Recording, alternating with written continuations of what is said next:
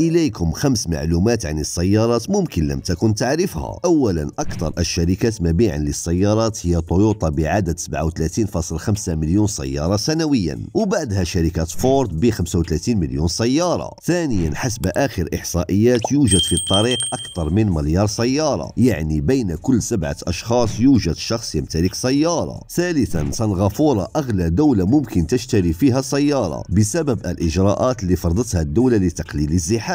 رابعا أغلى سيارة في العالم. قامت شركة رولز رويس بخطف لقب أغلى سيارة في العالم من شركة بوغاتي صاحبة سيارة La Voiture Noire التي بيعت قبل سنة ونصف بمبلغ 13.5 مليون دولار أمريكي حيث قدمت الشركة البريطانية سيارة رولز رويس Boat Tail 2022 الجديدة والحصرية بثلاثة نسخ. بيعت مسبقا بسعر 28 مليون دولار أمريكي يعني تقريبا 400 مليار سنتيم بالعملة الجزائرية لتصبح بذلك أغلى سيارة في العالم. وأخيرا أرخص سيارة في العالم. من شركة الهندية طاطا اللي هي سيارة نانو. يقدر سعرها ب 1400 دولار وبعدها ارتفع سعرها إلى 4600 دولار يعني تقريبا 66 مليون سنتيم بالعملة الجزائرية. وفي الختام ممكن تكون عندك معلومة غريبة شاركنا بها في التعليقات. نشوفكم في الفيديو الجاي إن شاء الله. سلام!